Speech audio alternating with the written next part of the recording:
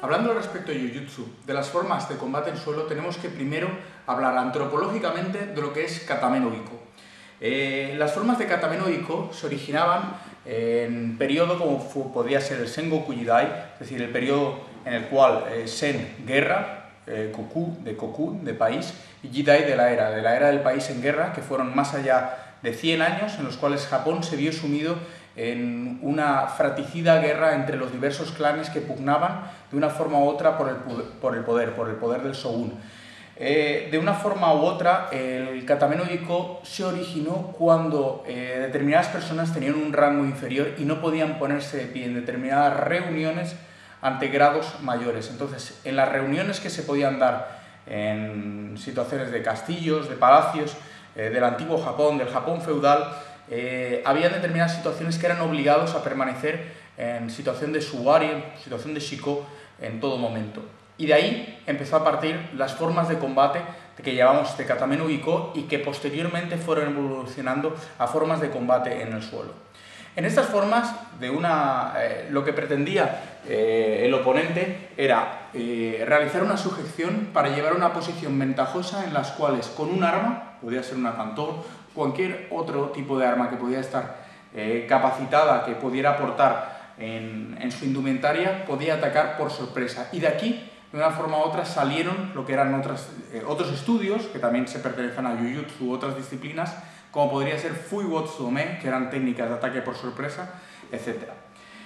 En este tipo de situaciones, como veremos, son métodos. Aunque existen Seite y Gata que definen eh, secuencias eh, que algunos maestros predefinieron para realizar la enseñanza, no podemos decir que estos Sete y Gata sean eh, lo más clásico dentro del estudio de Katamenoiko, pues dentro de Katamenoiko estaremos hablando de formas, de métodos que nos enseñan estas técnicas de control.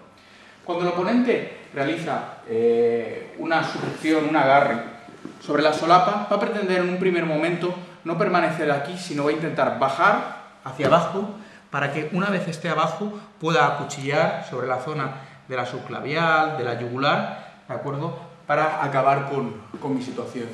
Aunque lo más normal y lo más natural sería ponerse de pie en cualquier tipo de defensas, estamos recordando que una de las situaciones que nos van a limitar es que eh, no podamos ponernos de pie por diversas situaciones como hemos comentado.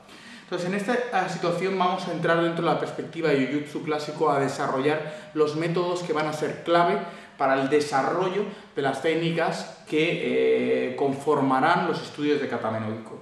Cuando realiza este tipo de ataque y va a realizar va a bajar para atacar, vamos a proteger para, a través del dedo pulgar, acceder a zonas muy sensibles como puede ser el ojo, como puede ser eh, la zona del cuello para desde aquí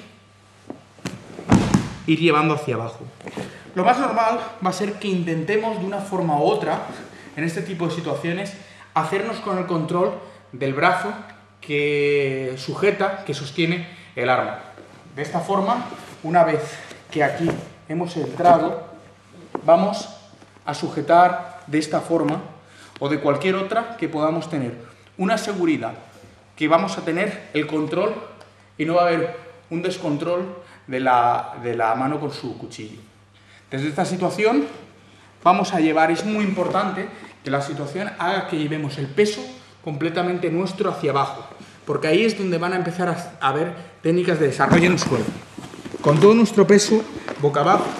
Eh, dentro de lo que son los estudios de la escuela, aquí se estudiaba lo que se llamaba eh, de kumono es decir, de las técnicas de la araña, de llevar, eh, de ser como una araña que se pega al suelo. Entonces es muy importante en este tipo de situaciones llevar el jara hacia abajo para que él note una presión que le impida levantarse, porque su situación primordial, su forma principal de defenderse va a ser intentar sacar la cadera y levantarse para girar, de una forma u otra.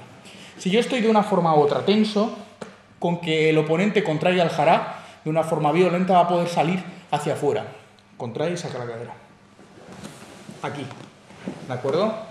Entonces estaremos en una situación realmente comprometida. De esta forma, aquí, con el jará relajado hacia debajo, por favor, no va a haber posibilidad de escape. Entonces, lo primero que haremos será tener el control de las piernas para de esta forma proteger cuando subimos de que el tantón nos alcance. Si estamos aquí, aunque la situación es realmente comprometida para el oponente, pues su hombro está, en, perdón, su pectoral va a estar en extensión y no va a tener apenas movilidad en el brazo, salvo el juego que pueda dar su muñeca. Pero eso nos puede incomodar y además de incomodar, ser un riesgo, sobre todo cuando tenemos un arma afilada en el extremo. Entonces desde aquí sacaremos protegiendo que no vaya la mano sobre la zona del filo.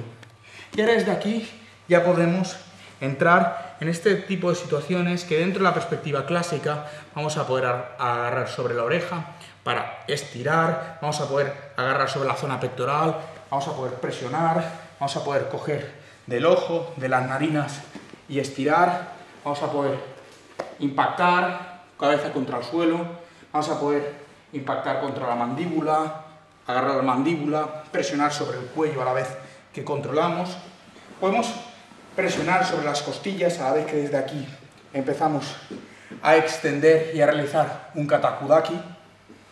Y las variedades dentro de las perspectivas de Jiu-Jitsu clásico en este tipo de situaciones son muchas.